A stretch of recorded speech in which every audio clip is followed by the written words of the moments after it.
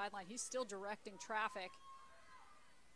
So right now for Hopkins, they want to try to stretch this out, not let Georgetown get into their settled offense. 20 seconds on the clock. Lynch up top, over to Diamond, looking for Pagano. Garvey will pick it up. The long outlet pass up the field to Schneiderith. Schneiderith.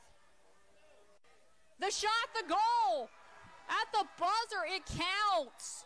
Maggie Schneiderith at the buzzer. What a heads up pass by the goalkeeper. That was Garvey, and she's being clobbered on her end of the field. Maggie Schneiderith is being clobbered on her end of the field. What a finish to that one for the Hoyas after they battled back from being down by four.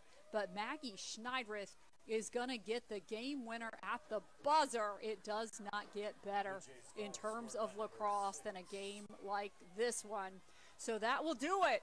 Here for us from Cooper Field, your final score Johns Hopkins 15, Georgetown 14.